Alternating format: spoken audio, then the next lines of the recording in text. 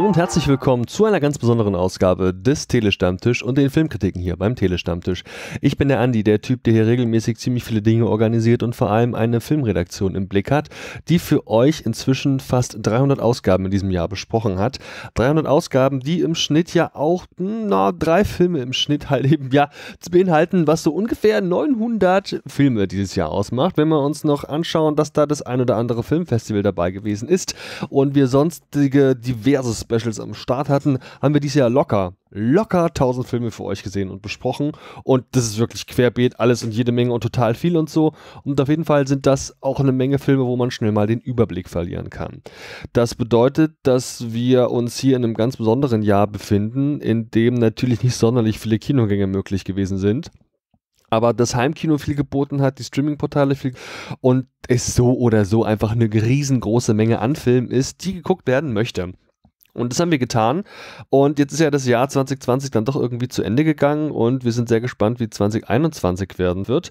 Aber wir hatten schon irgendwie auch Bock, so einen Jahresrückblick zu machen. Und dabei hatten wir nicht irgendwie vor, naja, einfach so wie alle anderen die Top 10 Filme, die wir geil finden, irgendwie aufzulisten und drüber zu sprechen oder so, weil, keine Ahnung, also echt jetzt der hundertste Podcaster sein, der euch erzählt, wie toll Tenet ist oder eben auch nicht toll oder was Mulan ist und nicht ist, irgendwie, keine Ahnung, hatte ich keinen Bock drauf. Also habe ich mal in der Redaktion rumgefragt und habe dann tatsächlich einige Kolleginnen und Kollegen gefunden, die Bock hatten, kleine Solos aufzunehmen. Ganz besondere kleine ja, Empfehlungen für euch da draußen. Ihr werdet jetzt also die Gelegenheit haben, uns dabei zu lauschen, wie wir Filme rauspicken, die vielleicht nicht jeder auf dem Schirm hat oder hatte. Filme, die für uns ganz persönliche Entdeckungen gewesen sind, die ihr ja inzwischen im Regelfall auch fürs Heimkino bereits finden könnt. Und da haben wir jetzt eben hier wirklich eine größere Anzahl an Solos aufgenommen. Die haben eine Durchschnittslänge von ungefähr drei bis fünf Minuten und ihr habt so nicht nur eine Gelegenheit mitzubekommen, was wir an Filmen für euch geschaut haben. Nein, ihr bekommt auch mal einen groben Überblick darüber, wer hier eigentlich Teil dieser Redaktion ist, was für Leute das sind, wie die so drauf sind, was die gucken, was die nicht gucken. Und ich glaube, das ist eine ganz coole, einfach Jahresabschlussaktion, die wir hier starten für euch da draußen. Ich würde mich sehr freuen, wenn ihr euch das komplett gebt. Ihr könnt auch in den Kapitelmarken hin und her springen, um zu wissen, um welche Filme es eigentlich geht.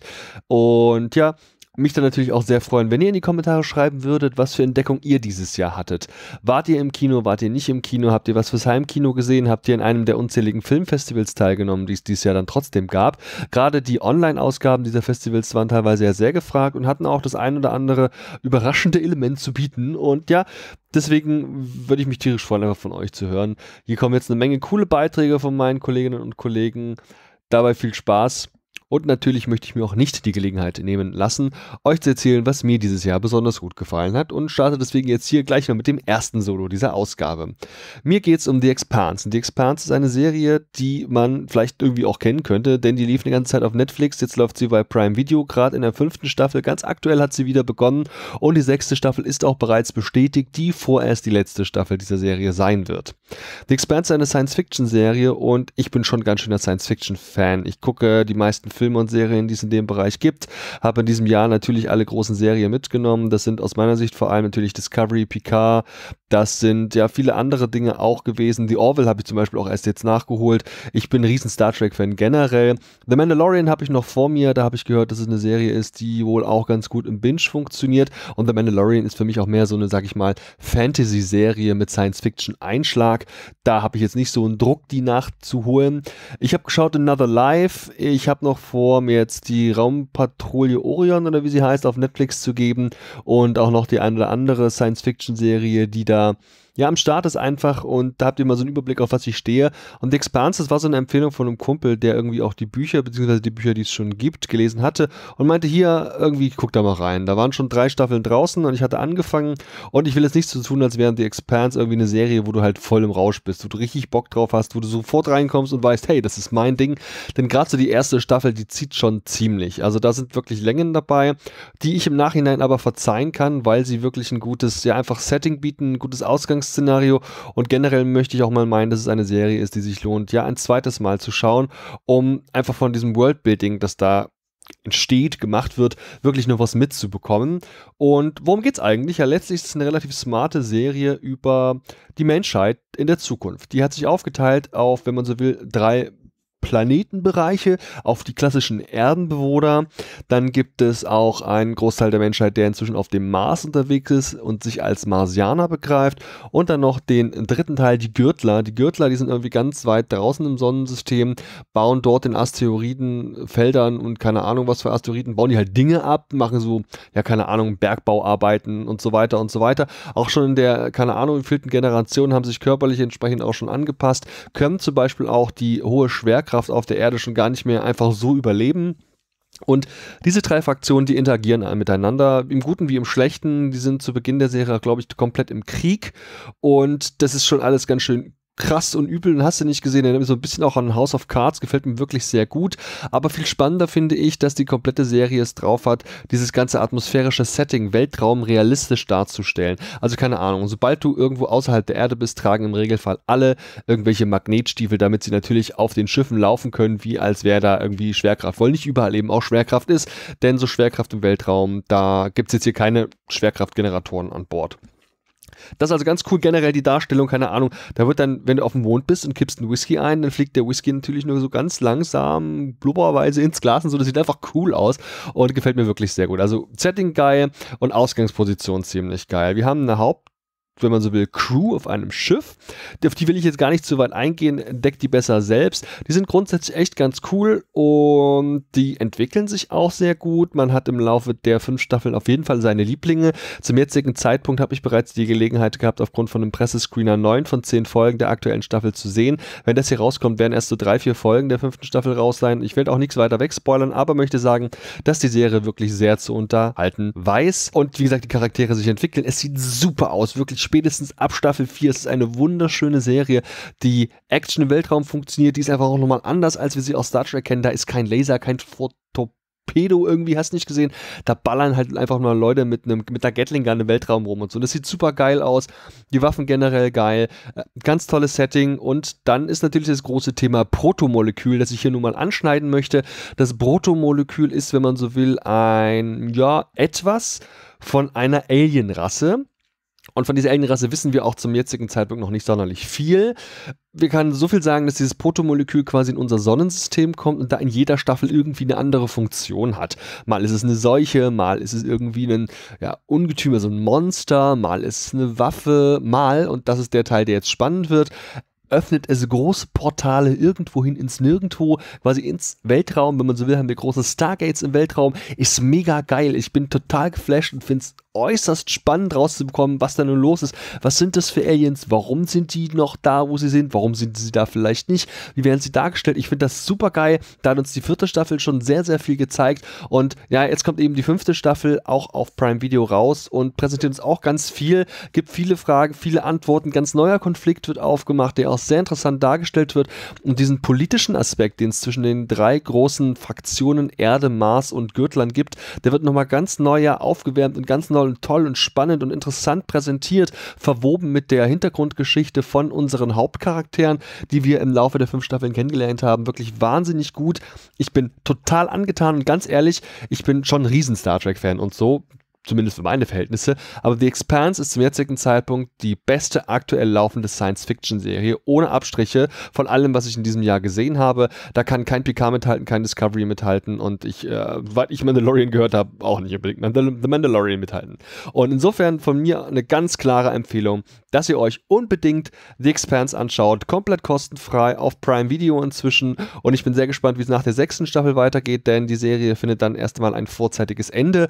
Die Bücher gehen noch super mega viel weiter und ich könnte mir zumindest diverse Spin-offs noch vorstellen.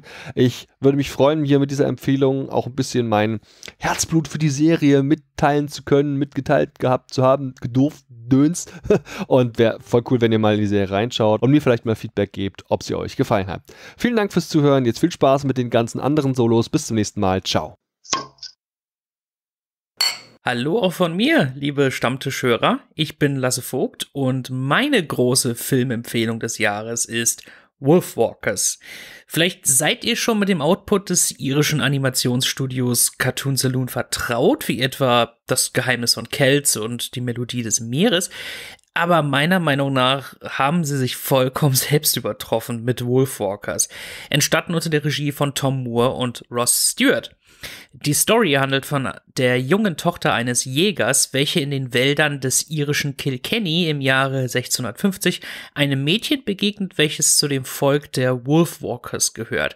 Allerdings sind die englischen Besatzungssoldaten unter dem Lord Protector den Wölfen feindlich gesinnt und wollen diese vertreiben oder gleich beseitigen.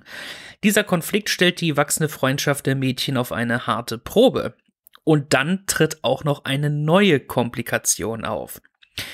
Wie schon in den vergangenen Werken von Cartoon Saloon wird hier irische Folklore in eine Story verpackt, deren Grundzüge dem Zuschauer halbwegs vertraut sein dürften, aber der Film schafft es, diese auf eine Weise zu erzählen, die sehr frisch wirkt, zumal es im weiteren Verlauf auch zu einigen Überraschungen kommt. Visuell ist der Film grandios, mit wunderschöner, handgezeichneter 2D-Animation, welche abstrakte und verschlungene Linien mit einem sehr distinktiven Charakterdesign und beeindruckenden Hintergründen und Farben verbindet. Das Voice Acting ist ebenfalls fantastisch. Jeder einzelnen Figur wird durch die jeweilige Stimme viel Persönlichkeit und auch Tiefe verliehen, wobei ganz besonders Sean Bean als Jäger Bill Goodfellow in einer warmen und vielschichtigen Performance heraussticht. Wir können diese Charaktere sehr schnell verstehen und ihre Motivation nachvollziehen, selbst diejenige von Simon McBurneys Lord Protector, welcher seine welcher seine nahezu fanatischen Züge erst später in den Vordergrund treten lässt. Honor Nifsi als Jägerstochter Robin und Newcomerin Eva Whittaker als Wolfwalker-Mädchen Melb sind ebenfalls hervorragend besetzt und machen die Verbundenheit der Mädchen jederzeit greifbar. Der atmosphärische Score von Bruno Collet in Zusammenarbeit mit der Folkband Kieler sorgt zusätzlich dafür, dass viele Sequenzen emotional mächtig einschlagen und dazu trägt auch ein großartiger Song bei, äh, und zwar von Aurora, ein Neuarrangement des äh, Songs Running with the Wolves Tonight von 2015. Der Film besticht durch große kunstvolle Schönheit, gewaltige Gefühle und auch einige düstere Szenen, welche das Drama ordentlich in die Höhe treiben.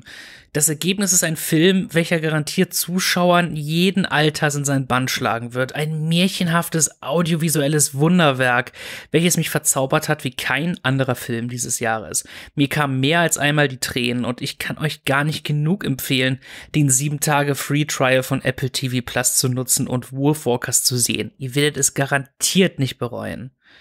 Vielen Dank fürs Zuhören. Ich hoffe, ich habe euch neugierig auf den Film gemacht und wünsche euch trotz allem einen hoffentlich geruhsamen und glücklichen Start ins neue Jahr. Ich freue mich auf die kommenden Besprechungen und sage bis dann. Ja, hallo ihr lieben Menschen da draußen, willkommen zu einem Spezial vom Telestammtisch. Wir erzählen euch hier in kleinen Episoden etwas zu unseren Besonderheiten, besonderen Filmen dieses Jahres, Empfehlungen, die vielleicht nicht auf jeder besten Liste stehen. Und ich habe mir da einen ganz speziellen Film rausgesucht. Ich sag mal ein Subgenre, das bestimmt nicht jeder jeden Tag schaut, aber für Freunde des gepflegten Dokumentarfilms mit einer Prise Emotionen ist dieser Film genau das Richtige. Ich rede von Mein Lehrer der Krake eine Netflix-Dokumentation aus diesem Jahr, gedreht in Südafrika und Regie von Pippa Ehrlich und James Reed. Ja, um was geht es? Das ist eigentlich ziemlich schnell gesagt. Es geht um einen Filmemacher, der ziemlich erschöpft ist vom, vom Leben, der einfach eine Auszeit braucht und eines Tages dann beschließt, seine schon immer bestehende Verbindung zum Ozean wieder aufzubauen und jeden Tag tauchen zu gehen. Und bei diesen Tauchgängen freundet er sich mit einer Krake an. Und das klingt total langweilig, ist aber in super schönen Bildern eingefangen ich denke mal, geübte Dokumentarfilmschauer werden ähnliches schon mal gesehen haben, rein von den Bildern her. Ich schaue jetzt nicht so viele Unterwasser-Dokus, deswegen hat mich das von Anfang an total mitgenommen und vor allem, wie sich da eine richtige Freundschaft entwickelt, ist total spannend mit anzugucken. Das macht Spaß und James Reed, der Protagonist des Ganzen und auch der Erzähler, hat ein wenig Kritik einstecken müssen, also die wenige, die es gab, hat sich an ihn und seinen Erzählstil gerichtet und wie wie er manchmal über die Situation berichtet, war einigen etwas zu unnatürlich und etwas zu dick aufgetragen. Mir hat das sehr gut gefallen, mich hat er mitgenommen und mich hat das Ganze sehr gepackt. Und ich fand auch die Frage, die er sich gestellt hat, darf ich denn eigentlich eingreifen, wenn die Krake mit ihrem Fressfeinden ums Überleben kämpft? Ist das ein Bereich, wo ich dann vielleicht schon einen Schritt zu weit gehe als Mensch von außen, der ja dort unten eigentlich nur eine Art Besucher ist? Das fand ich spannend, denn er hatte ja schon eine gewisse Verbindung zu der Krake aufgebaut und dann halt zuzugucken, wie sie vielleicht stirbt, das ist halt schon was, was einen dann auch mitnimmt und irgendwie treffen kann. Und das ist, wie gesagt, in tollen Bildern eingefangen. Das ist mal irgendwie was ganz anderes. Und mich hat der Film von vorne bis hinten, die ganzen 85 Minuten lang, auf eine Reise ins Unterwasserreich mitgenommen und mich unglaublich gut unterhalten. Ich kann es jedem nur empfehlen, der mal was anderes sehen möchte. Und wer noch den letzten Kick in diese Richtung braucht und ein bisschen was auf ja auch die Ansichten anderer Filmgucker gibt, dem kann ich sagen, auf der Seite moviepilot.de auf Platz 3 der besten Filme des Jahres nach der Community-Wertung gerankt gelandet. Also, wenn das jetzt nicht nochmal ein Ansporn sein sollte, dann weiß ich auch nicht. Ich hoffe, äh, ich habe euch damit einen kleinen Schubs in diese Richtung ge äh, gegeben. Habt viel Spaß, lasst euch ein bisschen ablenken in diesem doch sehr anstrengenden Jahr 2020 und äh, wir hören uns demnächst vielleicht ja bei meinem Podcast Steven Spoilberg zusammen mit meinem Kumpel Berg. Bis dahin, Tschüssikowski. So, jetzt bin ich an der Reihe. Ich bin's, euer Sam und ich möchte erstmal damit beginnen, mein Jahreshighlight zu nennen und kein Film.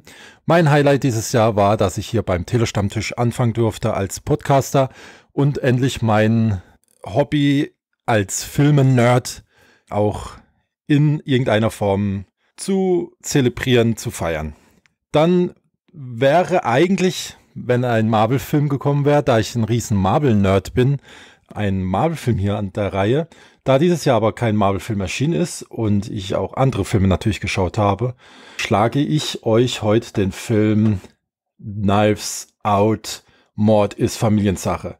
Dieser Film lief ab 2. Januar 2020 im Kino, lief also eine Weile noch, bevor die Kinos zugemacht worden sind. Und da habe ich diesen geschaut. Dieser Film ist von Ryan Johnson. Naja, der eine sagt so oder der andere sagt so zu diesem Herrn. Ich persönlich fand, äh, dass er äh, Star Wars jetzt nicht so unbedingt gut getan hat. Hier bei Knives Out macht er aber ein richtig gutes Geschäft beziehungsweise einen guten Eindruck. Dieser Film Knives Out ist natürlich groß besetzt. Unter anderem haben wir Daniel Craig, Chris Evans, Anna de Armas, Jamie Lee Curtis, Michael Shannon, Don Johnson, Tony Collette und viele, viele weitere. In diesem Film geht es im Großen und Ganzen darum, dass ein Kriminalautor, gespielt von Christopher, äh, Christopher Plummer, morgen nach seinem 85. Geburtstag tot aufgefunden wird.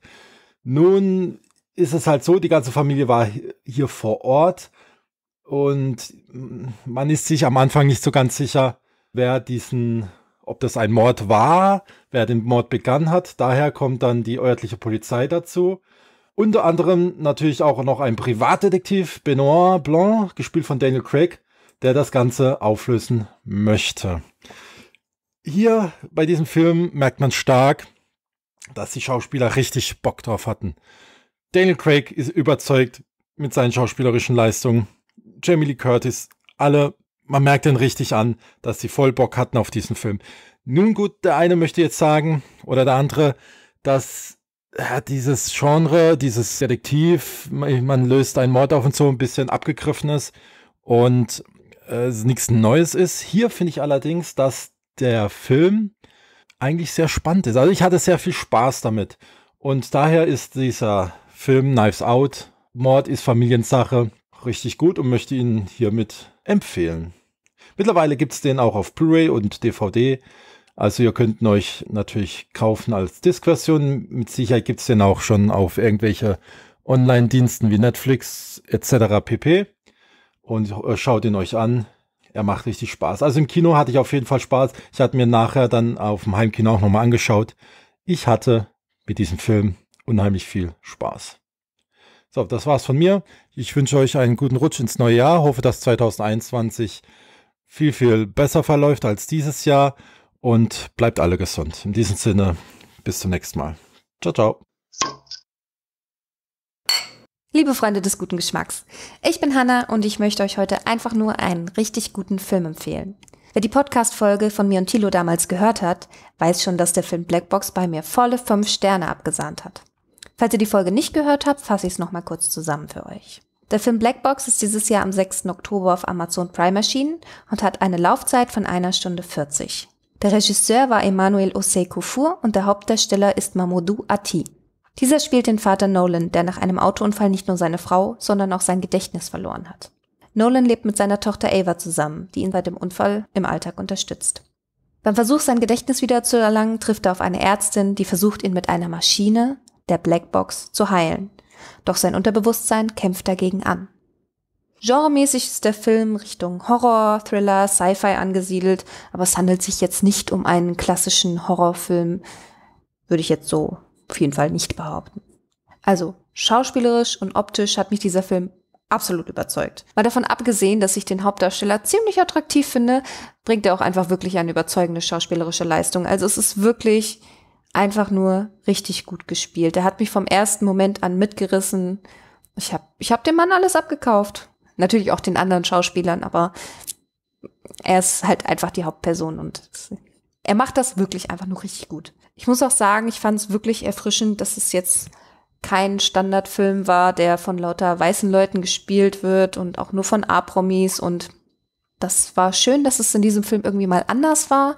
Der Film wird hauptsächlich von People of Color gespielt und irgendwie fand ich das mal erfrischend anders. Es hat mir echt gut gefallen und irgendwie habe ich dann so gedacht, ja, warum ist es eigentlich nicht öfter so? Irgendwie fand, fand ich einfach, fand ich einfach gut. Ja, und es sind jetzt dadurch, dass auch nicht nur so A-Klasse Schauspieler sind, kam mir jetzt ehrlich gesagt keiner von den Schauspielern so groß bekannt vor. Also ich glaube ehrlich gesagt, ich habe noch von keinem von den Schauspielern irgendwas gesehen. Also wüsste ich jetzt zumindest nicht.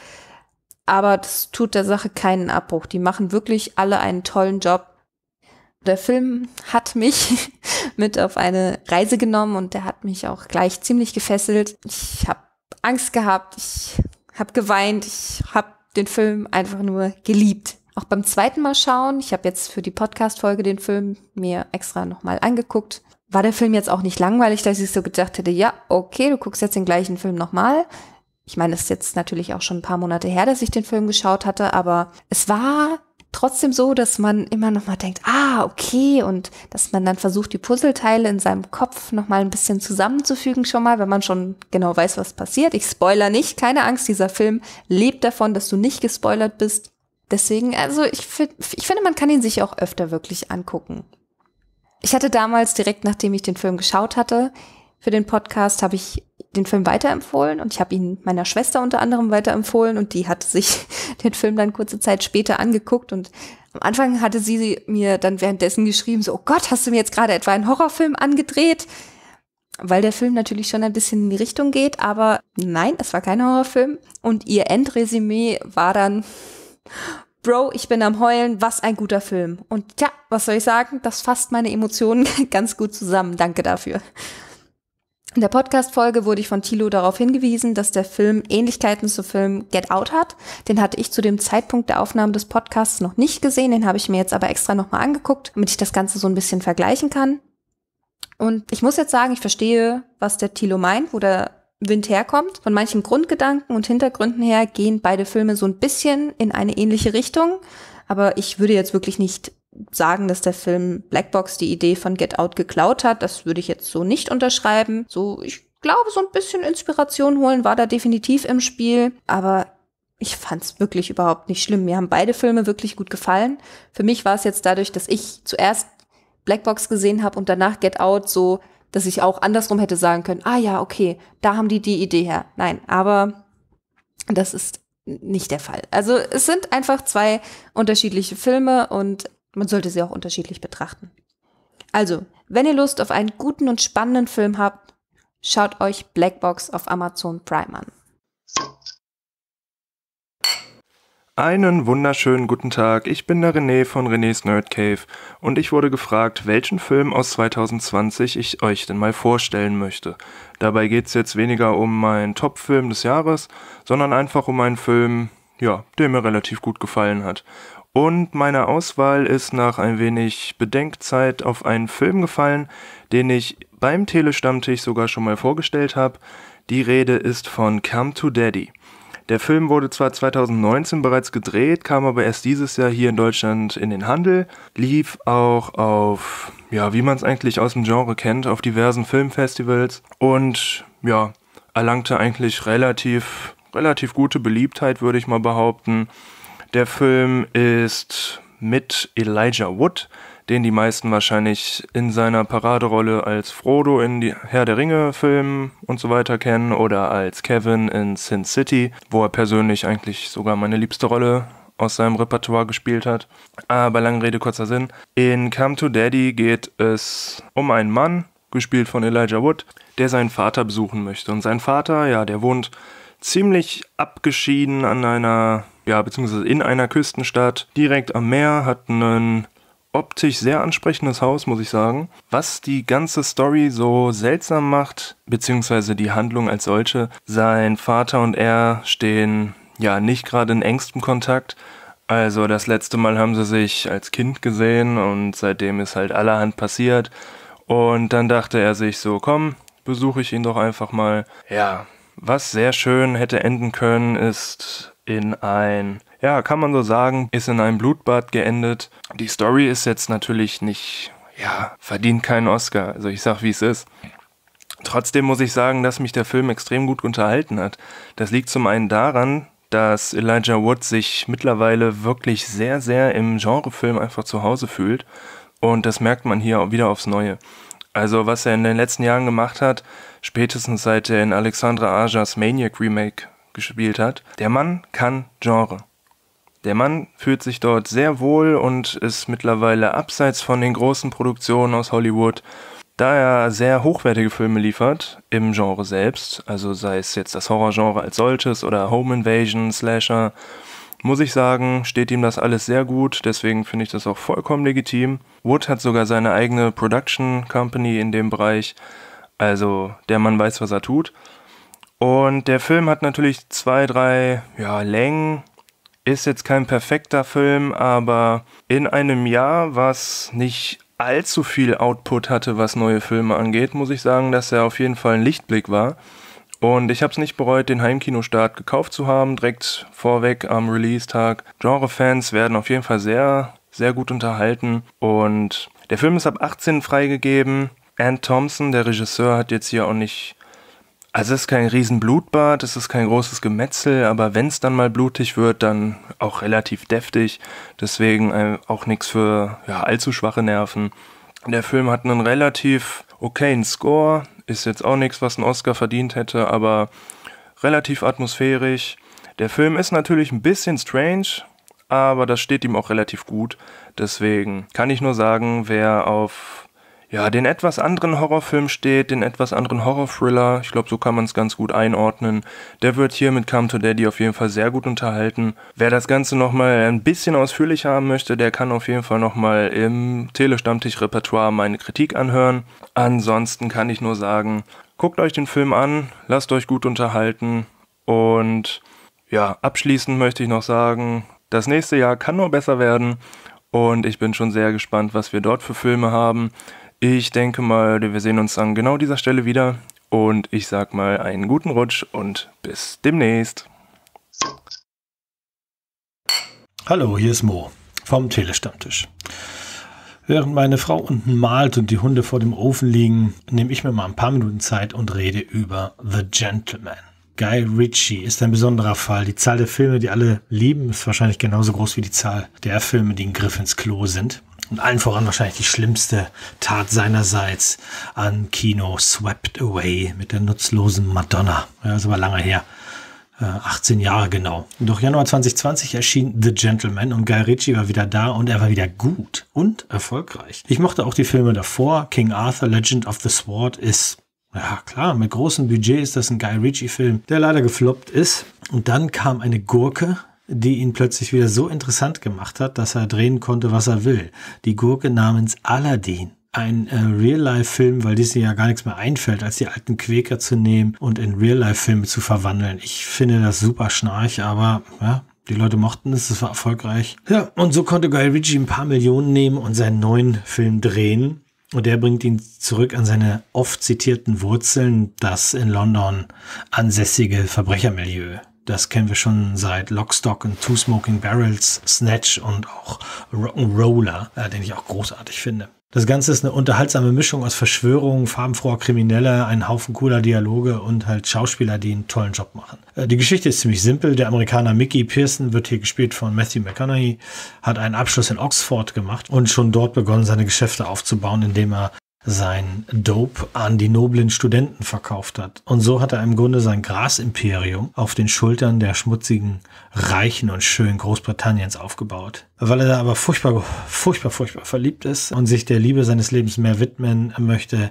hat er jetzt vor, seine Grasfarm zu verkaufen. Und neben einem äh, jüdischen Investor bekommen auch andere zwielichtige Typen mit, dass da was passiert. Und dann ist da auch noch dieser Möchtegern-Detektiv, der aus dieser ganzen Geschichte, wer hat wann, wem, was, wie, wo gegeben und verkauft, ein Buch machen will. Ein paar Charaktere bleiben hinter dem, was sie sein könnten, zurück und andere Versatzstücke bekommen zu viel Aufmerksamkeit. Doch am Ende kann man sagen, dass es trotzdem viel Spaß macht. Das ist ein typischer Ritchie-Stil-Film und Matthew McConaughey, Hugh Grant, Charlie Hunnam, die reizende Michelle Dockery und Colin Farrell machen hier einen tollen Job. Das ist einfach charmant anzugucken. An einigen Stellen will Ritchie vielleicht ein bisschen zu viel, die witzigen Untertitel, die äh, anderen fast Tarantino-artigen Abschweifungen, YouTube-Kommentare etc. Das ist manchmal fehl am Platz äh, und wirkt dann auch nicht originell, aber man erkennt halt seinen Fingerabdruck und viele dieser Dinge, die er in diesem Film wieder einbaut, hat er tatsächlich auch schon in seinen Erstlingswerken gehabt. Das muss man ihm hier einfach mal als Credit geben.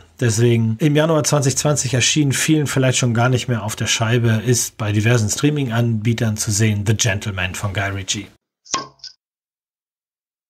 Und weil es so schön war, gleich nochmal. Es sei denn, mein erster Cast landet hier gar nicht. Ah, das Risiko gehe ich ein. Hier ist nochmal Mo, nochmal mit einem Tipp für einen Film. Der Unsichtbare von Lee Wannell mit der großartigen Elizabeth Moss. Im Februar rausgekommen ist es eine Upgrade-Version einer tatsächlich schon 123 Jahre alten Geschichte. Doch diesmal ist es fast unerträglich spannend, thematisch sehr reichhaltig und erschreckend aktuell. Die Story kurz. Nachdem Cecilia gespielt von Elizabeth Moss, eine missbräuchliche Beziehung mit Adrian verlassen hat, fühlt sie sich für kurze Zeit frei, denn zwei Wochen nach ihrer Flucht begeht Adrian scheinbar Selbstmord und hinterlässt ihr zudem 5 Millionen Dollar als Erbe. Als dann aber eine Reihe von seltsamen Vorgängen und Zufällen geschehen, muss sie beweisen, dass sie nicht verrückt wird, dass sie tatsächlich von einem unsichtbaren Mann verfolgt wird. In seiner ersten Verfilmung, auch schon von 1933, spielte Claude Rains den Dr. Jack Griffin als verrückten Wissenschaftler, der vorher zwar rational, aber dann durch ein Serum verrückt gemacht wurde. Und dieses Serum konnte den Brechungsindex seines Körpers verändern und so wurde er unsichtbar. Bei diesem Reboot der Geschichte ist kein Serum, sondern, ach, ja, das sage ich jetzt nicht.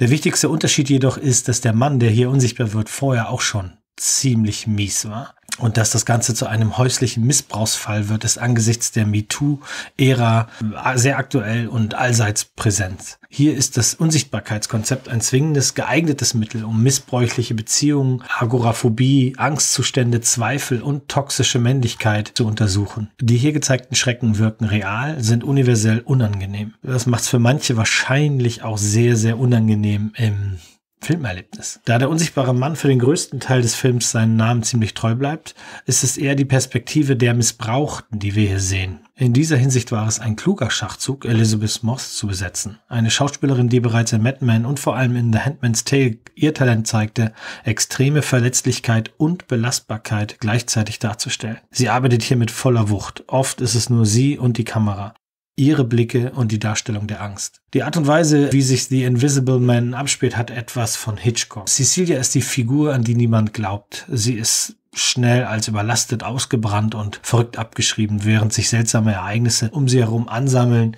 und nur sie scheint diese wahrzunehmen. Sie weiß tief in ihrem Bauch, dass sie einem extremen psychologischen Krieg ausgesetzt ist, den nur sie kämpfen kann. All diese Elemente sind gekonnt in kleinen Horrorversatzstücken verteilt und der Regisseur entscheidet sich hier für eher traditionelles Filmhandwerk gegenüber den momentan aktuell sehr gern benutzten modernen visuellen Effekten. Sein Ansatz sind einfache Kamerabewegungen, Großaufnahmen der Hauptdarstellerin und die dauernde Androhung von etwas Unsichtbarem. Dieser subtile Ansatz geht auf, ist unglaublich effektiv und erinnert daran, dass Horror nicht immer hektisch sein muss, um Angst zu erregen. Erst im letzten Drittel, wenn wir den Unsichtbaren tatsächlich als Mann wahrnehmen, schaltet der Regisseur einen Gang hoch und äh, folgt mit der Kamera auch moderneren Bewegungen. Es gibt diverse Schockmomente, es gibt mindestens einen atemberaubenden Moment, der richtig schockiert. Es gibt einen provokanten Epilog und am Ende den Reboot einer alten Geschichte, der wirklich gut gelungen ist. Mit nur ungefähr 7 Millionen Kosten und fast 140 Millionen Umsatz ist der Unsichtbare der Grund, warum es das sogenannte Dark Universe wohl nun doch geben wird. Alte Monster und Gruselgeschichten im neuen Gewand. Wenn die folgenden Filme auch so klug und spannend umgesetzt werden, da kann man sich auf einiges freuen. Schaut euch einfach der Unsichtbare nochmal an. Ein freundliches Hallo an alle da draußen. Hier ist der Berg vom Podcast Steven Spoilberg und ich begrüße an dieser Stelle natürlich alle Hörer und Hörerinnen vom Telestammtisch und freue mich, dass ich heute auch was beitragen darf. Und zwar haben wir uns ja in der Redaktion gesagt, jeder bespricht mal einen Film, den er irgendwie im Jahre 2020 für besonders erachtet. Und da habe ich folgenden mitgebracht und zwar Master Cheng in Poyanyoki. Ein Film, über den wahrscheinlich kaum jemand stolpern wird, den wahrscheinlich auch sich niemand anguckt, wenn er nur den Titel liest. Aber das ist ein großer Fehler. Denn ich habe ihn damals in der Sneak Preview sehen dürfen und habe ihn auch beim Telestammtisch zusammen mit den geschätzten äh, Kollegen Mo besprochen und möchte jetzt berichten davon. Und zwar ist das eine chinesisch-finnische Produktion, was ja schon mal relativ besonders ist, spielt in Finnland. Und zwar kommt der chinesische Koch Cheng zusammen mit seinem Sohn nach dem Tod seiner Frau nach Finnland. Und zwar mitten in die Pampa in das kleine Kaff Pojanjoki und dort gibt es nicht viel, dort gibt es einen großen Imbiss, Circas Imbiss ja, dort strandet er mit seinem Sohn und wartet und ist die ganze Zeit auf der Suche nach einem sehr ominösen Herrn, den dort niemand zu kennen scheint, namens Fongtron. Er fragt alle, die dorthin kommen tagsüber, die dort essen. Er fragt die Besitzerin, er fragt alle möglichen Leute, die dort sich irgendwo hin verirren. Aber niemand scheint diesen Mann zu kennen. Und so ist er gezwungen, mit seinem Sohn dort irgendwie zu verweilen, um dann später vielleicht doch noch auf den Herrn Fongtron zu treffen und bekommt auch dort Asyl von der äh, Besitzerin. Und im weiteren Verlauf fängt er dann auch an, in diesen kleinen Imbiss zu kochen und das Ganze dort aufzumischen. Soweit zur Handlung des Films. Man kann auf jeden Fall sagen, äh, es ist eine ja, Tragik-Komödie äh, mit sehr, sehr vielen Feel-Good-Vibes. Es ist das typische Aufeinandertreffen von verschiedenen Kulturen, hier eben die chinesische und die finnische, was wunderbar funktioniert. Das kriegt mich sowieso immer irgendwas, was in dieser Art abläuft. Ähm, das hat so viel Verständigung, so viel Vielfalt in den Kulturen und im Zusammenleben, im Humor, in der Lebensweise, in der Philosophie.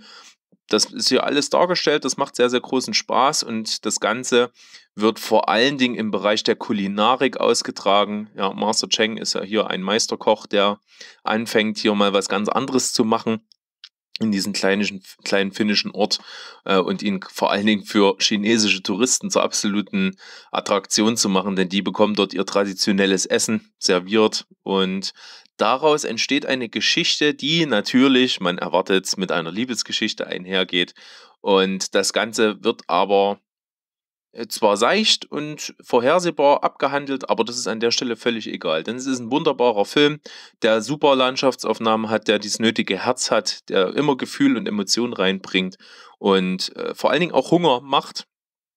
Und die ganzen kulinarischen Weisheiten aus der chinesischen Yin- und Yang-Philosophie und dass alles in Balance sein muss, wird da alles schön mit eingearbeitet. Das macht das Ganze zu einem wirklich spaßigen, runden Film, der ans Herz geht, den man sich auf jeden Fall mal anschauen sollte. Also, Master Cheng in Poyan Yoki, gerne mal reinschauen. Empfehlung vom Berg, vom Podcast Steven Spoilberg, hier für den Telestammtisch. Ich bin draußen, macht's gut.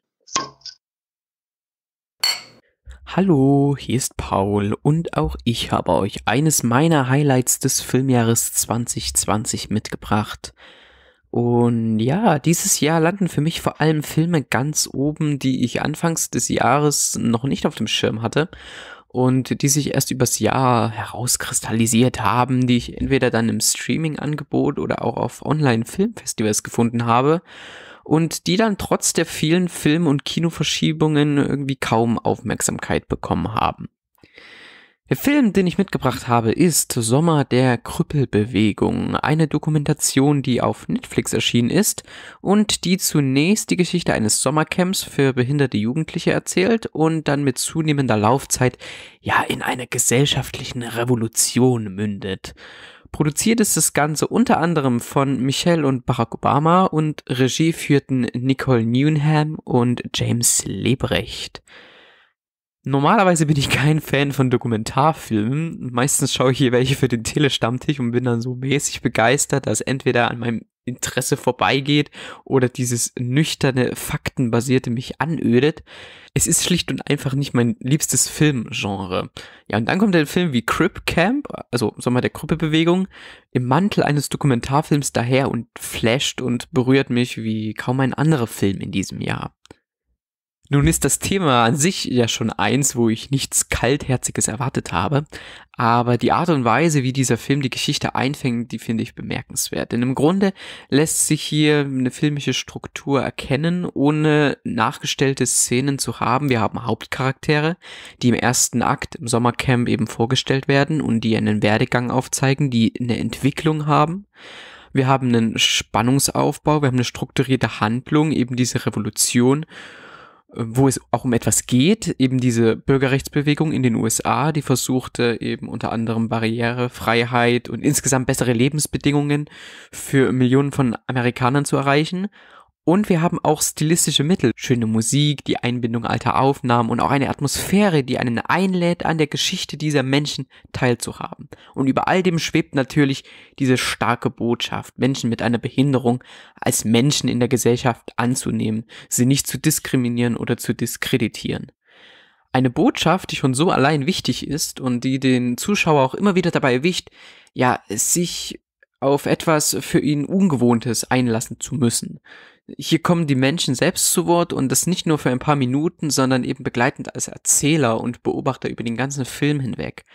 Und selbst wenn man sie nicht versteht, wenn sie von Untertiteln begleitet werden oder sie nur äh, sich durch Geräusche ausdrücken können, sie werden gehört und ihr Wort wird unbearbeitet an die Zuschauer transportiert. Nicht nur ihre Worte natürlich, auch ihre Taten, ihre Freuden und dadurch entstehen solche herzlichen und ja zutiefst menschlichen berührende Momente, dass ich sie förmlich versucht habe aufzusaugen, weil sie vielleicht dieses Jahr dann doch irgendwo zu kurz gekommen sind. Dieser Dokumentarfilm ist aber auch so fröhlich und hoffnungsvoll wie auf der anderen Seite manchmal erschreckend und bedrückend.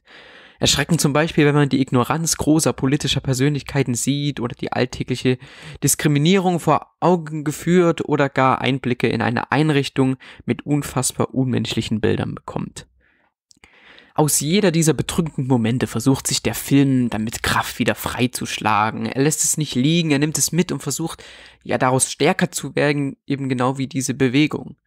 Ähm, Sommer der Gruppebewegung zeigt für mich viele emotionale Seiten und immer dann packen mich Dokumentarfilme und schaffen es mich auch über anderthalb Stunden, ich glaube sogar noch länger, mitzunehmen.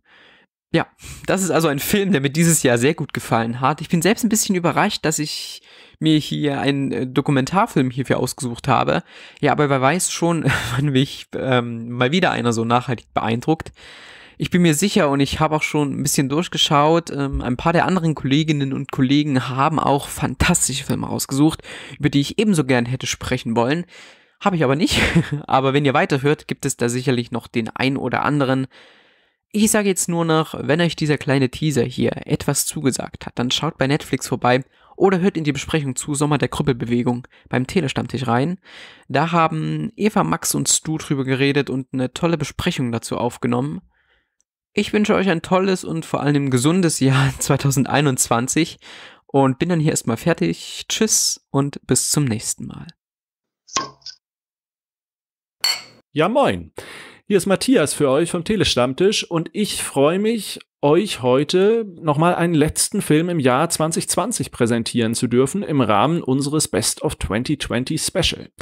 Ja, und das Jahr 2020 war in vielerlei Hinsicht ein besonderes Jahr, nicht zuletzt auch mit Blick auf das, was man so an filmerischen Darbietungen geboten bekommen hat. Ich habe mir für euch einen Schmankerl, wie ich finde, nochmal rausgesucht, nämlich den Film Einfach das Ende der Welt.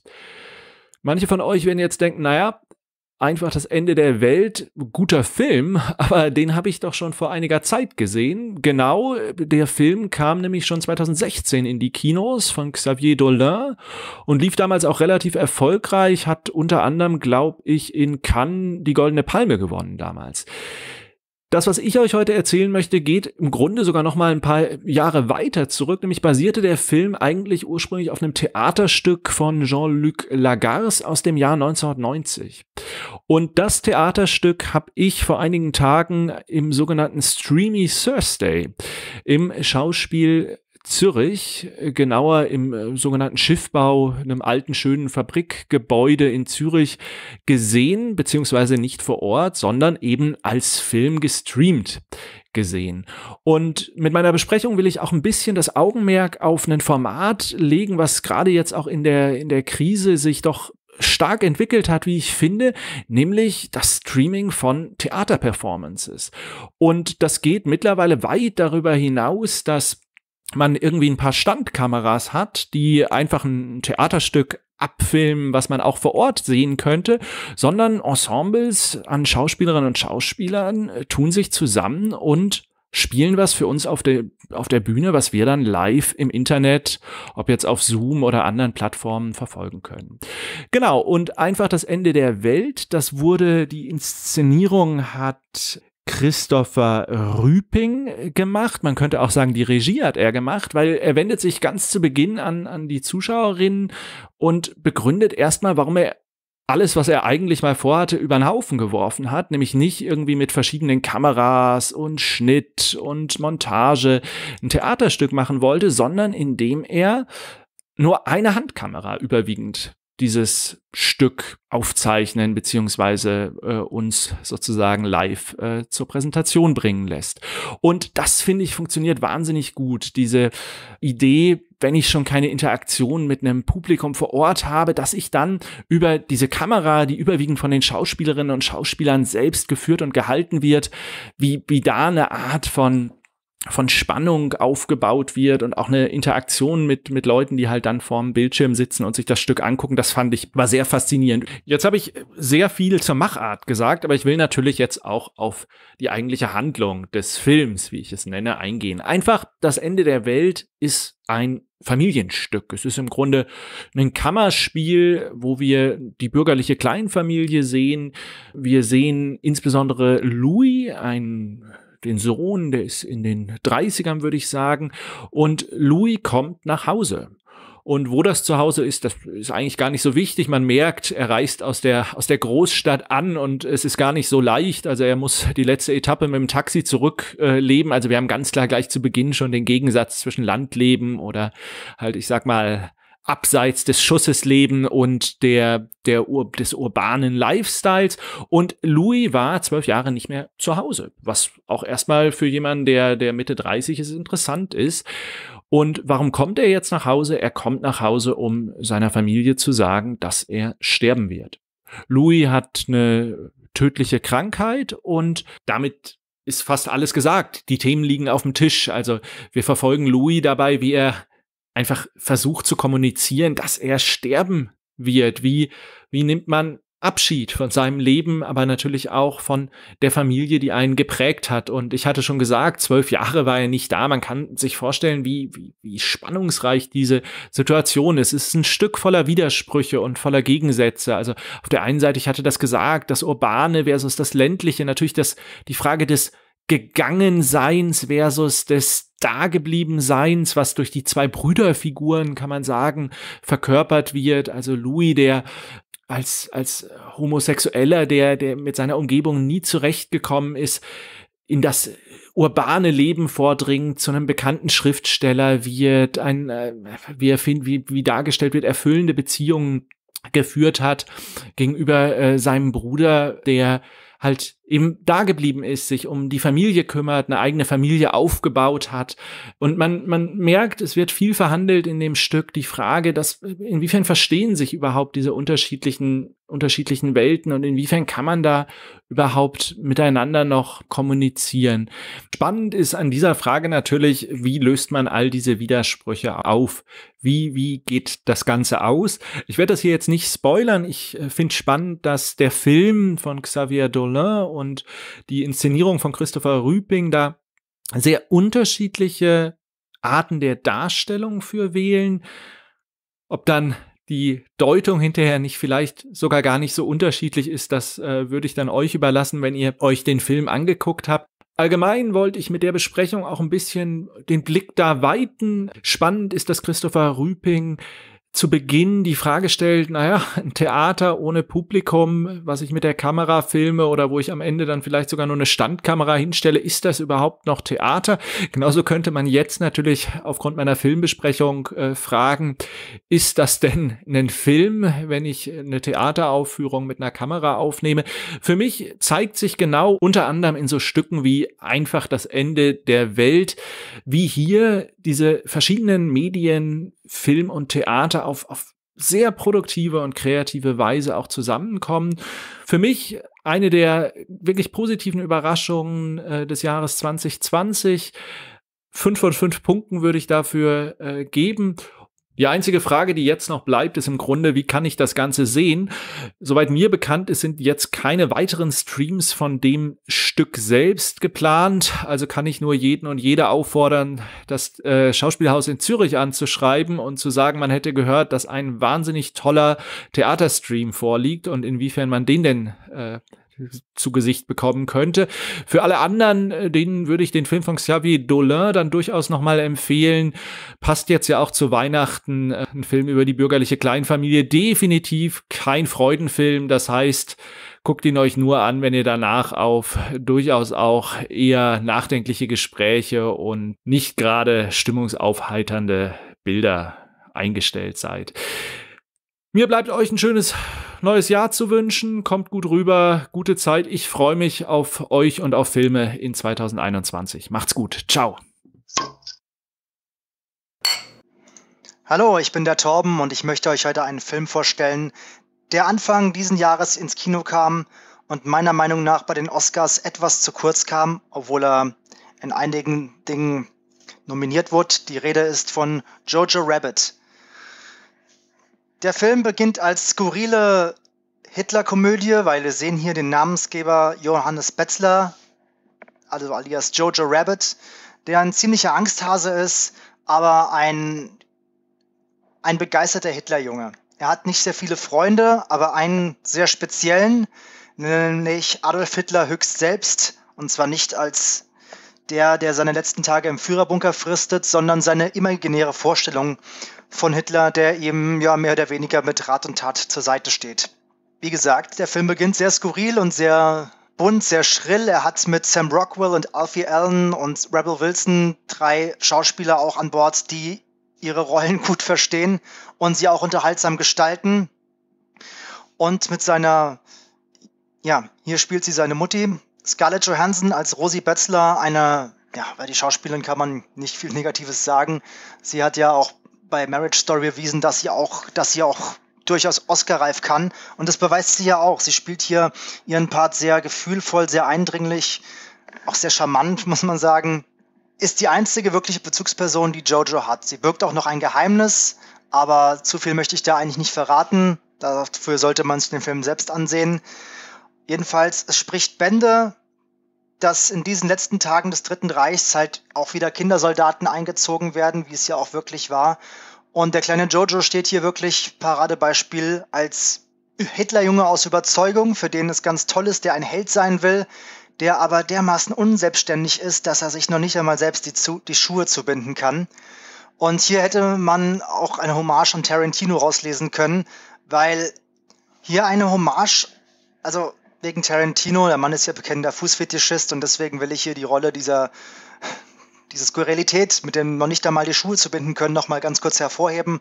Außer dass der Film eben überzeichnet ist, nimmt er ab einer gewissen Stelle, in der Schuhe eine zentrale Rolle spielen. Du siehst eine Szene darin und schon wird dem kleinen Jojo wie dem halben Kinosaal wirklich der Teppich unter selbigen weggezogen und ab da nimmt der Film die, den, die Rolle eines harten Kriegsdramas an, die sich trotzdem an Skurrilität und bitterschwarzem Humor dermaßen überschlägt, dass dem Zuschauer wirklich das Lachen im Gesicht gefriert und man am Schluss da rausgeht und sich fragt, ja, was habe ich da gerade gesehen? Man kommt von der x-ten Hitler-Verarsche oder Hitler-Komödie eben zu einem Film, der genauso beginnt, aber einen dann auf einer ganz anderen Ebene neu abholt.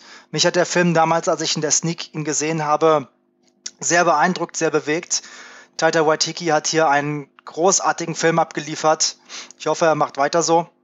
Man kann diesem Film eigentlich nicht viel vorwerfen. Klar, man könnte jetzt ein kleines Fass aufmachen mit, dass er viele Sachen verharmlost, gerade im Sinne vom Dritten Reich und so weiter, gerade zu Beginn des Films. Aber wir sehen hier halt, wie am Anfang schon erwähnt, eine Coming-of-Age-Geschichte aus der Sicht eines 13-Jährigen, für den es alles noch ein Abenteuer ist, der nichts vom Krieg weiß, aber der dann wirklich auf den bitteren Boden der bitterbösen Tatsachen zurückgeholt wird.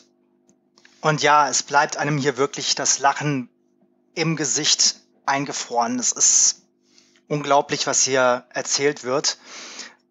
Dabei ist es teilweise so herrlich skurril und beginnt dann doch anfangs sehr unschuldig. Wird dann immer überzeichneter, immer bunter zum Teil auch. Und auch am Showdown es ist so absurd, was man, was man da zum Teil sieht. Auch eine, eine Rolle eines Gestapo-Offiziers, der hier Mitte des Films auftaucht, wo man auch schon so ein bisschen mitbekommt, alles klar, das wird hier auch nochmal eine andere Fahrtrichtung aufnehmen. Diese Rolle ist so ein weirder Creep, der hätte auch echt einen Slenderman einen guten abgeben können aus so einem Film. Leute, seht euch den Film an. Ich kann es nur empfehlen.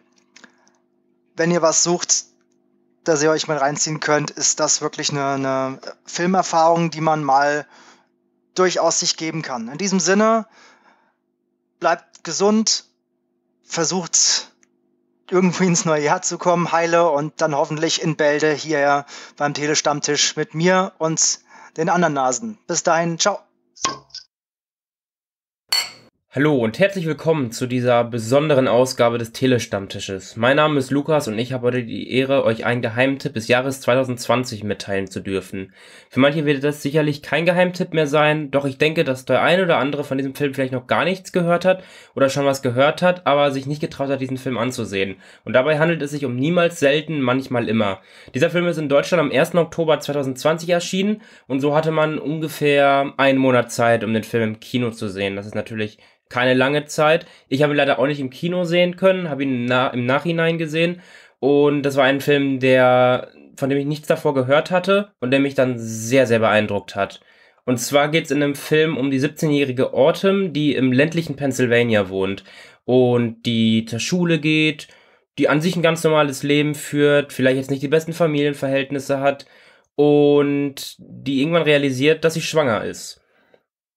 Und beim Frauenarzt wird ihr dann erzählt, wie genau sie damit umgehen soll. Doch von Abtreibung ist hier gar nicht die Rede. Doch als sie das dann nachfragt, wird sie damit konfrontiert, dass Abtreibung schlecht sei, dass man das nicht machen darf. Und man merkt schon, man ist da in dieser ländlichen Gegend, bisschen konservativ alles. Und zusammen mit ihrer Cousine beschließt sie dann nach New York zu gehen, weil dort Abtreibungen erlaubt sind und will diese fortführen lassen, durchführen lassen. Das Ganze klingt natürlich nach sehr hartem Stoff und ist es garantiert auch. Doch es lohnt sich. Der Film, genre-technisch würde ich das jetzt als, als Drama oder Mumblecore ein, einteilen. Und bei der Regisseurin handelt es sich um Eliza Hitman und man merkt sehr schnell in dem Film, dass hier eine Frau am Werk war. Denn diese Feinfühligkeit, an die, an die man an dieses Thema herangegangen ist, ist einfach fabelhaft. Das ist ein, man hat hier ein schweres Thema und das wird so gut behandelt. Es werden Dinge gesagt, die gesagt werden müssen, aber es werden auch die Dinge nicht gesagt, die nicht gesagt werden müssen. Und allgemein wird in dem Film gar nicht so viel geredet. Der Film läuft ein bisschen nach dem Motto Show, Don't Tell und das funktioniert hier sehr gut. Der Film wird von sehr, keiner psychedelischen Musik, aber von einer sehr ambient-lastigen Musik durchgehend unterstützt und gibt dem Film die ganze Zeit so einen sehr melancholischen Vibe und so, so einen nachdenklichen Vibe. Man befindet sich quasi immer in Autumns Kopf.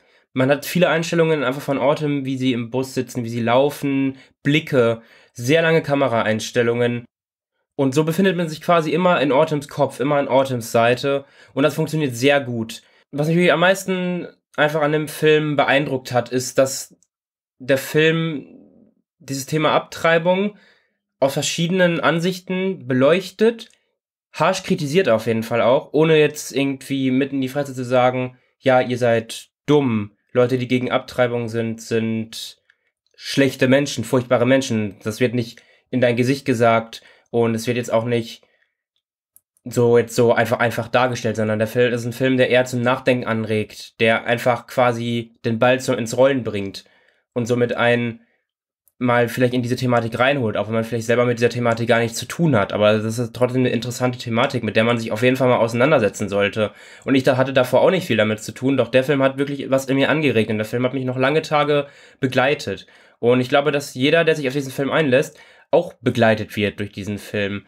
Weil er es einfach sehr gut macht. Er lässt auch Dinge offen. Also man kann sich seinen Teil denken. Es ist sehr viel im Subtext versteckt. Und das macht das Ganze so genial.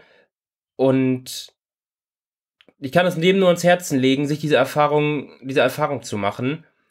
Denn der Film ist einfach sehr gut gemacht. Er ist wunderschön gefilmt. Die Musik ist wunderschön. Man hat eine sehr gute Schauspielerin. Die Hauptdarstellerin Sydney Flanagan macht einen wirklich unfassbar guten Job in dem, in dem sie uns in ihre Gedankenwelt reinholt, in ihr Leben reinholt, uns an ihrem Leben teilhaben lässt und wir einfach auch an diesem Leben irgendwie teilhaben wollen. Es interessiert einen, man will wissen, was passiert, man will mehr über diese Person wissen. Doch diese Person ist einfach auch sehr verschlossen und gibt einem nicht so viel. Man hat so dann immer trotzdem so ein bisschen Distanz, aber auch diese Nähe gleichzeitig. So ein bisschen paradox, aber es funktioniert wahnsinnig gut. Der Film geht keine zwei Stunden und ist deswegen guter, guter Watch ist jetzt vielleicht nicht so der Sonntagabendfilm, aber es ist auf jeden Fall ein Film, wenn man sagt, okay, ich will mal ein bisschen was tiefgründigeres, ich will mich mal ein bisschen, mein Kopf soll mal ein bisschen angeregt werden. Dann ist das auf jeden Fall der perfekte Film und ich kann es nur jedem empfehlen, diesen Film zu sehen. Wer es verpasst hat, wartet, bis man sich den irgendwie einfach leihen kann, bis den Vielleicht läuft er ja noch mal im Kino, weil er jetzt nur so einen kurzen Kinostart hatte, dann kann ich auf jeden Fall jedem empfehlen, sich diesen Film anzusehen. Es wird sich garantiert lohnen, es ist keine verschwendete Zeit. Und ja, das ist schon alles, was ich zu diesem Film zu sagen habe. Ich hoffe, dass, euch, dass ich euch einen guten Filmtipp geben konnte und ich wünsche euch einen wunderschönen guten Rutsch ins Jahr 2021, was hoffentlich besser sein wird. Und dann hören wir uns nächstes Jahr zu vielen, hoffentlich wunderbaren Neuerscheinungen. Macht's gut. Hallo und herzlich willkommen. Mein Name ist Kathi und ich möchte euch heute ebenfalls meinen Lieblingsfilm aus dem Jahr 2020 vorstellen, nämlich Hamilton. Hamilton ist eigentlich ein Broadway-Musical, geschrieben, komponiert und eigentlich so ziemlich alles hat Lin-Manuel Miranda gemacht. Und der Film ist eigentlich eine Aufnahme der Broadway-Show und seit Juli bei Disney Plus im Programm. Und Hamilton erzählt die Geschichte von einem der Gründungsväter Amerikas, nämlich Alexander Hamilton, äh, wie er nach Amerika gekommen ist, seinen Kampf im Unabhängigkeitskrieg gegen England, seine und danach seine politische Karriere, ähm, seine Intrigen, seine Freunde und sein Leben bis hin zu seinem Tod. Und der Film ist direkt von der Broadway-Bühne im Prinzip abgefilmt. Das sind, glaube ich, zwei Live-Aufnahmen und einige Aufnahmen ohne Publikum für die Großaufnahmen. Und um ehrlich zu sein, wie die Ankündigung kam, dass Hamilton auf Disney Plus erscheinen wird, war mir irgendwie klar, dass das mein Lieblingsfilm dieses Jahr werden wird weil der Soundtrack bei mir im Freundeskreis schon seit Jahren rauf und runter läuft und ich die Lieder echt cool finde und auch coole Erinnerungen an manche von den Liedern habe, wenn wir irgendwie unterwegs waren oder so. Ja, deswegen hatten irgendwie alle anderen Filme das ja nicht wirklich eine Chance. Und ich habe den Film auch seit Juli ungefähr fünf oder sechs Mal gesehen. Also ja. Und obwohl ich sehr, sehr große Erwartungen dadurch auch in den Film hatte, weil ich halt wissen wollte, wie wurde das umgesetzt, was ist eigentlich weil das ist, wurde dieses Musical konzipiert und dadurch auch auf der Bühne zu sehen. Wie wirken die Lieder auf der Bühne, wenn man nicht nur den Soundtrack hört, finde ich in meinen Augen, dass der Film total gelungen ist. Wie gesagt, ich finde die Lieder und der Soundtrack sind genial. Es sind keine typischen Musical-Lieder, was mich auch nicht stören würde, aber es ist sehr viel im Stil von Rock, Rap und Hip-Hop. Äh, zu meinen Favoriten da gehören Aaron Burr, Sir wo es um das Treffen zwischen Hamilton und seinem späteren Freund und dann Feind Aaron Burr geht. Dann Wait for It, was eine meiner Meinung nach der wichtigsten Charakterentwicklungen von Aaron Burr dann ist. Warum, da erfährt man auch, warum die Freundschaft irgendwann nicht mehr gehalten hat und sie in Feindschaft umschwingt, weil halt Hamilton und Burr von ihren Charakterzügen dann unterschiedlich sind.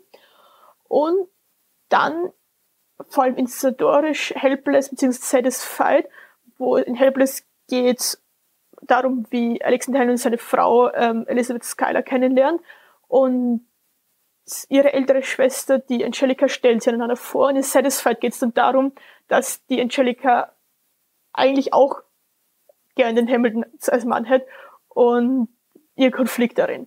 Und damit komme ich schon zu meinem nächsten Punkt, warum ich den Film echt genial finde. Es ist einfach, ich weiß, dass es Musical konzipiert worden ist, dass es im Broadway so stattfindet, aber diese Bühne, was man mit wenig Ressourcen machen kann, ist echt erstaunlich.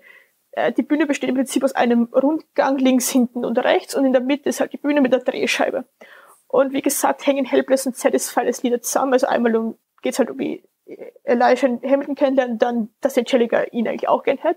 Und die zwei Lieder sind hintereinander und da geht das ganze Spiel von einem Ball.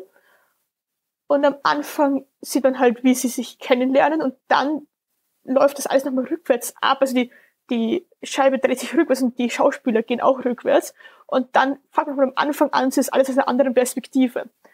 Und wie man auch nur mit dieser Drehscheibe, diesem Rundgang, wie man so viel darstellen kann und so viel Sachen klar machen kann, ist echt erstaunlich. Und der Cast ist durchgehend genial. Mein Highlight ist Jonathan Croft als King George, ähm, der König von England zu der Zeit. Und der singt zum Beispiel, äh, der hat nur drei Auftritte, aber immer wenn er auf der Bühne steht, stiehlt er auf allen anderen die Show. Und der singt dann darüber, dass er halt logischerweise nicht will, dass sich Amerika von England abspaltet. Und das sind aber im Prinzip Trennungslieder. Also, dass er singt, ja, ihr wird schon wieder kommen und ohne mich können sie sowieso nicht. Und das ist echt genial. Und was ich auch ziemlich cool finde, sind die Inszenierung der Cabinet Meetings zwischen Jefferson und Hamilton. Das nämlich als Rap Battle inszeniert, wo sie halt gegenseitig sich ihre Argumente vortragen. Ja. Und ich kann verstehen, dass wenn man keine Musicals mag und absolut keinen Bock auf Musicals hat, dann wird Hamilton das auch nicht ändern. Es ist zwar, es sind zwar nicht die typischen Musical-Lieder, aber es ist halt trotzdem Musical. Es ist, es spielt alles auf einer Bühne und die Inszenierung ist halt trotzdem Musical-Theater-like. Aber wer auch nur die geringste Affinität für diese Art von Musik, für amerikanische Geschichte oder für Musicals hat, der hat, sollte hiermit auf jeden Fall eine Chance geben und sich das mal anschauen. Äh, das war's von mir. Schöne Feiertage, einen guten Rutsch ins neue Jahr und wir hören zum nächsten Mal. Danke und tschüss. Hello, hier ist der Andi beim Telestammtisch. Ich wollte euch nun zum Ende des Jahres auch noch einen 2020 Filmtipp geben, den ihr vielleicht verpasst habt. Dieser Film kam, wie nicht viele dieses Jahr, sogar im Kino, aber nur für kurze Zeit. Der lief letztes Jahr schon äh, auf den Filmfestspielen in Cannes oder Venedig, keine Ahnung, äh, war der Eröffnungsfilm. Es handelt sich um La Verité von Hirokazu Koreeda, äh, meinem Lieblingsregisseur aus Japan. Ich kenne nicht so viele. Auf jeden Fall wird er da schon als neuer Meisterregisseur gehandelt. Trotzdem ist er hier noch nicht so bekannt. Man könnte ihn von Shoplifters kennen, einem Film, der 2018 die Goldene Palme in Cannes Venedig, ich bringe das immer durcheinander, gewonnen hat.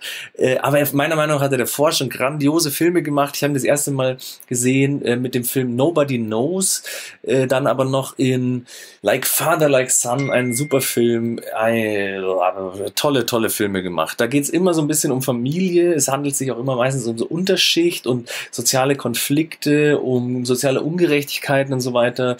Grandios. Jetzt klingelt mein Handy hier, aber das stört euch hoffentlich nicht nicht.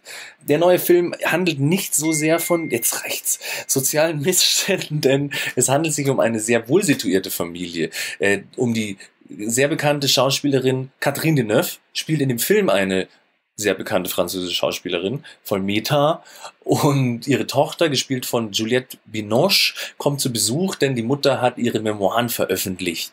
Und die Tochter und die Mutter haben nicht so das beste Verhältnis und sie will sie ein bisschen damit konfrontieren, dass in diesen Memoiren doch relativ viele Unwahrheiten stehen, denn sie beschreibt sich dort als fürsorgliche Mutter und als liebevoll und so weiter. Dabei ist sie eigentlich eine ziemlich zickige, sarkastische, böse Frau, kann man sagen. Und das spielt Catherine Deneuve so großartig. Also es macht super viel Spaß, ihr dazu zu schauen, wie sie mit sehr viel Selbstironie halt diese alternde ähm, Hollywood, in dem Fall äh, französische Hollywood-Diva, wie nennt man das? Französische Diva? Ja, Schauspieldiva. genau. Großartig. Generell Schauspieler sind eh super. Juliette Binoche macht das auch super. Äh, Ethan Hawke ist noch dabei als Ehemann, der immer nicht so richtig versteht, worum es geht, weil er Ami ist und äh, nicht so gut Französisch kann und ähm, ja, da immer ein bisschen verarscht wird auch, weil er so ein zweitklassiger Fernsehschauspieler ist und ihn Fabienne, also gespielt von Catherine Deneuve, nicht so richtig ernst nehmen kann. Das ist alles sehr munter und sehr heiter. Ähm, es gibt aber auch, es wird ziemlich düster bei einem gemeinsamen Familienessen, wird da so eine, die Vergangenheit angesprochen. Es wurde nämlich zum Beispiel, es geht öfter um eine Frau namens Sarah, die wohl auch Schauspielerin war, da will ich jetzt aber nicht zu viel verraten. Es wird auf jeden Fall ziemlich fies irgendwann mal. Aber trotzdem würde ich den Film jetzt äh, der ganzen Familie empfehlen. Also es geht schon auch mal um ernstere Themen, aber doch, doch ist er sehr heiter und sehr lustig, gerade durch Catherine Deneuve. Außerdem spielt Catherine Deneuve im Film gerade noch in einem Film mit, in einem Science-Fiction-Film, in dem sie eine Tochter spielt von einer Mutter, die wiederum nicht altern kann und so. Ah, das klingt alles mega kompliziert. Auf jeden Fall aus diesem Setting äh, entspinnen sich da ganz tolle Dialoge, die dann wiederum sich auf die Beziehung von ihr zu ihrer eigenen Tochter übertragen lassen. Es ist auf jeden Fall super, super clever geschrieben und so. Also es ist ein sehr ruhiger Film, darauf muss man sich einstellen und einlassen. Aber sonst, ich finde den super genial. Ich finde den lustig, grandios besetzt. Die Musik ist auch toll, auch wenn sie nur spärlich eingesetzt ist. Aber ach, der zeigt wieder, dass es einfach kann guter Mann. Toller Film für die ganze Familie. Es geht auch ein bisschen Weihnachtsfilm. Es geht um Verzeihen, um Vergeben in der Familie und so weiter. Ähm, es ist ein schöner Film und schaut euch nicht nur den an, sondern schaut euch auch noch Like Father, Like Son, Still Walking, Shoplifters und noch mehrere Filme von Hirokazu Koreeda an. Der Mann ist ein guter Mann und Jo, dann wünsche ich euch ein frohes Weihnachtsfest, einen guten Rutsch in ein hoffentlich schöneres Jahr 2021 und wir hören uns bei vielen weiteren Filmkritiken im nächsten Jahr beim Telestammtisch. Ciao! Hallo liebe Zuhörerinnen und Zuhörer vom Telestammtisch. Hier ist der Dom und ich habe die Ehre, diesen ja schon irgendwo Jahresrückblicks-Podcast mit meiner persönlichen Empfehlung aus dem Jahr 2020 zu beschließen. Das Jahr 2020, ja, was soll man dazu noch sagen? Es ist für mich tatsächlich ein bittersüßes Jahr gewesen, vielleicht sogar so ein bisschen die Waage. Für viele war es wahrscheinlich eher bitter als süß. Und ich habe lange hin und her überlegt, denn es war kein schlechtes Filmjahr. Es gab Highlights, die fast ausschließlich für mich dieses Jahr auf Streamingdiensten liefen. Da wären zum einen Mank und The Devil All the Time oder natürlich der großartige I'm Thinking of Ending Things von Netflix und zum anderen Soul, jetzt ganz frisch, aber letzten Endes habe ich mich dann doch für einen Film entschieden, der mir lange im Gedächtnis geblieben ist, obwohl es um das Vergessen und auch die Vergänglichkeit geht.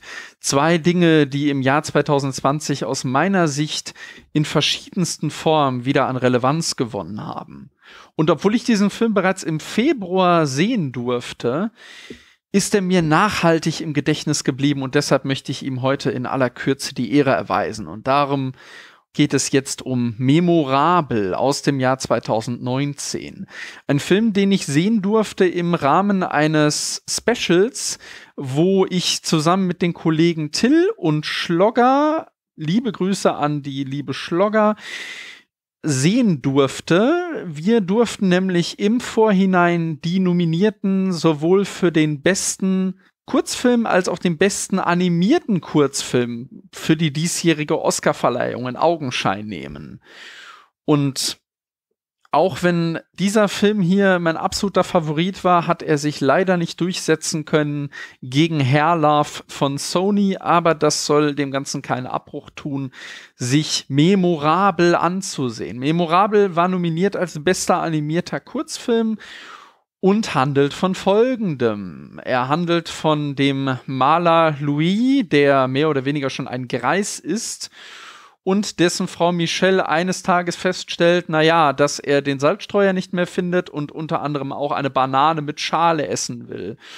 Und so nach und nach stellt sich heraus, ja, ihr Mann hat Alzheimer. Und der Film thematisiert das Ganze größtenteils aus seiner Sicht in einer sehr eigenen Stilistik. Ihr seht es ja vielleicht jetzt hier schon am Titelbild, wenn ihr mal darauf achtet. Das Ganze ist nämlich realisiert worden mit Puppen, die zumindest eine Oberfläche aus Latexschaum bestehen und die stilistisch sehr an Gemälde beispielsweise von Vincent van Gogh erinnern. Das hat alles etwas sehr eigenes, eben ja zu sehen, wie der Verstand eines Künstlers und dessen Wahrnehmungen sich bizarr verformen und dann nach und nach auflösen und das eben auch in dieser künstlerischen Art und Weise ein visuell unglaublich berauschend schöner Film über das Vergessen, über die Vergänglichkeit, mit halt bizarren Verformungen von Personen, Gegenständen etc. und doch wahnsinnig einfühlsam, schön gespielt. Es ist ein bisschen so, als würde man den Plot von ähm, Liebe von Michael Haneke variieren, mit der Stilistik von Filmen wie Anomalisa oder Loving Vincent kombinieren und das Ganze präsentieren in der Art und Weise des Prologs von Disney Pixars oben. Und das funktioniert einfach wunderbar. Und nicht nur, weil ich vor einigen Jahren selber meine eigene Oma an, ja, Demenz erkrankt verloren habe, hat mich dieser Film tatsächlich wirklich tief berührt. Es ist ein wirklich wunderschöner Film visuell. Er trifft genau diese bittersüße Note, die das Ganze hat, ohne jemals irgendwie äh, zu übertreiben in einer Richtung oder manipulativ einzugreifen.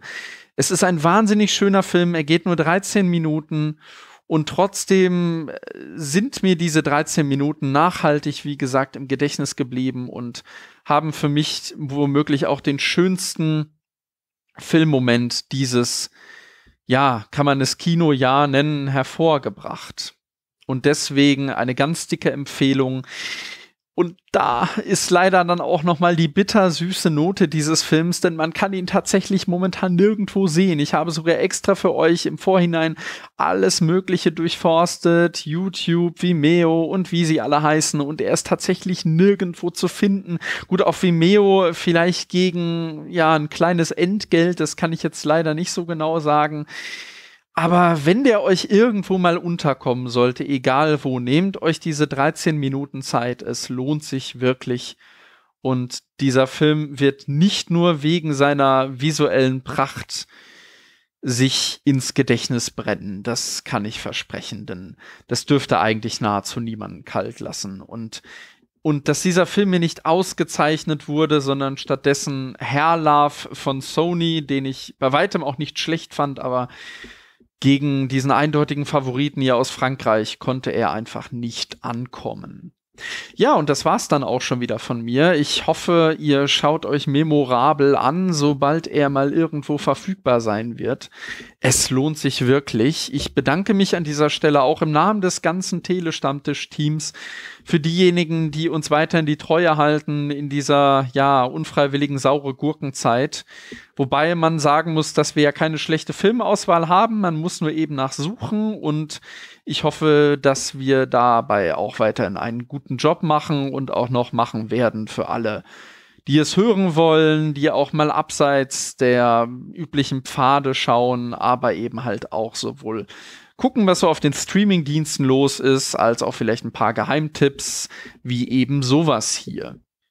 Dann bleibt mir eigentlich nur noch übrig, euch einen guten Rutsch in ein hoffentlich frohes neues Jahr 2021 zu wünschen. Macht das Beste draus, bleibt gesund, bleibt zu Hause und wünscht euch einfach, wenn ihr irgendwie beim Bleigießen oder was auch immer seid, dass dieses Jahr 2021, das kommende Jahr 2021, nicht der kleine, geschweige denn der große Bruder von 2020 wird. Und damit melde ich mich ab. Ein Cinephiler schickt seine Grüße und wünscht einen guten Rutsch ins neue Jahr. So wie ich jetzt auch. Äh, dann grüße ich hiermit den armen Wicht, der das zusammenschneidet. Hallo Wicht. Und fang an. Hallo und herzlich willkommen beim Telestammtisch. Wir besprechen heute den Film Mein Nein. Also das klingt ein bisschen komisch irgendwie, aber es ist äh, Mine 9 quasi übersetzt. Das Ganze... Ähm, stopp. Jetzt bin ich raus. Lasst einfach laufen. Ja. Lasst einfach laufen. Okay. Ich mach, ich mach nochmal von vorne. Fuck. Hallo und herzlich willkommen zum Telestammtisch. Wir besprechen heute den Film Sebastian springt über Zäune. Über Geländer. Über Geländer, dann machen wir das nochmal. Dann mal herzlich willkommen zum Stele Telestammtisch. Gut, ich hab's euch gesagt. Erstmal alle die Aufnahme. So, jetzt läuft die Aufnahme. Meine läuft, eure läuft auch, gell? Okay, ja. Jo, Wie deine Aufnahme läuft nicht. Läuft, läuft. Jetzt läuft's. Läuft, läuft, läuft, läuft. Ein belegtes Brot mit Schinken. Quatsch. Geht das doch? Was denn jetzt? Ein belegtes Brot mit Schinken. Schinken. Ein belegtes Brot mit Ei. Ei. Paul, das hast du jetzt verkackt. Nochmal. Was muss ich denn machen? Ja, du musst sagen auf Schinken und Ei. Ach so, alles klar. Ein belegtes Brot mit Schinken. Schinken. Ein belegtes Brot mit Ei. Ei. Schuldgefühle ihrer Mutter gegenüber, weil sie ja ihre Mutter in der in dem Sozio sozialismischen so, langsam in der sozialistisch, Sozi- sozialistischen Sozialistisch. Sowjetunion. Mein Gott, ist das ein Satz. Sozialistischen Sowjetunion. Genau, wie sich aus dem Namen abdenken lässt oder denken lässt, das Ableiten. ableiten danke. Nochmal ganz kurz. Wie gesagt, also mich persönlich als Mediziner regt es auf, wenn ich äh, da sehe, dass da eine Amplifikation von der DNA innerhalb von fünf Minuten stattfindet und am nächsten Tag darf ich mir dann, wenn die Folge dann offiziell ausgestrahlt wurde, anhören, warum dauert denn mein PCR-Test für das Coronavirus so lange? ja, weil das verfickt nochmal, Entschuldigung Andi, da musst du da eventuell rausschneiden, aber weil das nun mal eben nicht in so einer Sci-Fi-Serie spielt, unsere Realität, sondern weil das nun mal auch Zeit braucht und komplex ist und nicht so einfach ist. Gut, ansonsten hast du noch etwas, was du jetzt unbedingt zu diesem Film ansprechen möchtest? Oder möchte die Bohrmaschine im Hintergrund noch was sagen? Ich glaube, mein Nachbar möchte was sagen. Kellerschlüsseln aus. Falls ihr ihn. Und wir gehen fast so dadurch gleich zum nächsten Western-Klischee über. Die. Oh, mein Mikrofon ist gerade ein wenig so besser. Gelingt ihm nicht immer. Das liegt vor allem daran, äh, deswegen, äh, das, liegt vor allem daran, der ist zum Beispiel auch in dem nächsten Film der Russo-Brüders Cherry zu sehen und hat davor auch einiges schon äh, abgeliefert. Verzeihung. Entschuldigung, Entschuldigung, das schneidet man dann einfach raus an der Stelle. Sorry. Bei mir ist hier gerade die Katze durchgedreht. Tut mir leid. Ich mochte die Affenfolge. Mir sind Affen egal, so jetzt habe ich gesagt. Liebe Affenfans, bitte schickt mir Hasspost, mir egal. Ja, genau. Genau. Worauf warten wir? Ich weiß es nicht, hast du schon, du, dass, dass du sagst, dass du auch auf Record Ach gedrückt so, ja, ich hast. sag nichts mehr, weil ich schon auf Record gedrückt habe. Ach so, okay, gut. Dann, ja. Wer macht was? So, stopp, schicken wir jetzt dem Tom.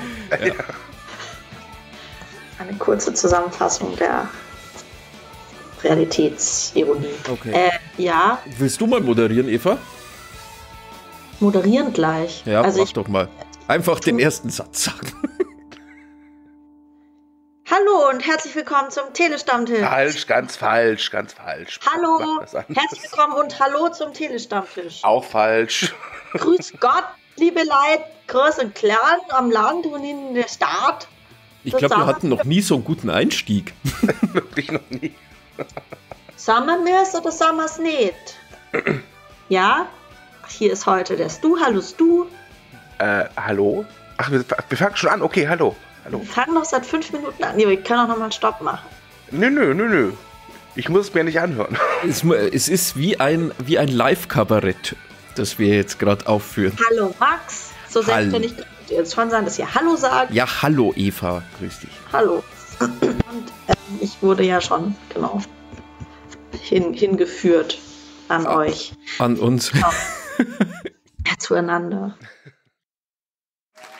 Sehr geehrte Damen und Herren, Ladies and Gentlemen, wertes Publikum, vielen Dank für Ihre Aufmerksamkeit und Ihre Zeit. Wenn Ihnen gefallen hat, was Sie heute gehört haben, empfehlen Sie uns doch bitte weiter an Ihre Freunde, Bekannte und Verwandte, an jeden, von dem Sie glauben, unser Podcast gehört genau in deren Ohren. Wir freuen uns sehr auf Ihr Feedback, das Sie gerne hinterlassen können auf den Social Media Plattformen, wie zum Beispiel Facebook, Twitter, Instagram oder auch bei uns im Blog unter tele-stammtisch.de. Da gibt es Kommentarfunktionen, bitte nutzen Sie die bitte und bewerten uns auch noch. Wir sind ein Podcast, der von seinen Bewertungen lebt. Gehen Sie auf Apple Podcast, auf podcast.de, auf Google Podcast oder eine der vielen weiteren Plattformen, auf denen man Podcasts bewerten kann. Und bewerten Sie uns, das wäre total toll. Wir danken Ihnen vielmals. Und wenn Sie noch ein bisschen Geld übrig haben, dann nutzen Sie doch die Gelegenheit, uns via PayPal eine kleine Spende zukommen zu lassen oder die Amazon Affiliate Links zu nutzen, die Sie in den Show Notes finden. Vielen Dank und bis zum nächsten Mal. Ciao.